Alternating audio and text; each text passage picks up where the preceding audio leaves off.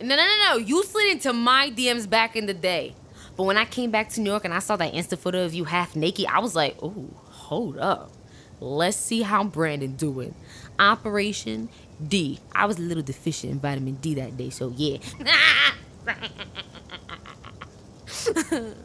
yo, yo, yo, yo. You remember when we said that when we get to the red carpet, we will be each other's date? And now look at us. Friends for 10 years and dating for two. yeah, we we started out pretty good. But to be honest, um I don't know how to say this, but I've been feeling pretty shitty about us. You know, and, and, and I get it. We're busy and our careers keep us apart, but I feel like you just don't fucking care. There's no effort, no communication, nada. And I don't know why. Like, was it something that I did or said? Because you don't ever talk to me about how you're feeling. So, Brandon, do you want to be in this relationship? I mean, just tell me what it is. Because, you know, I already been through this shit in my past.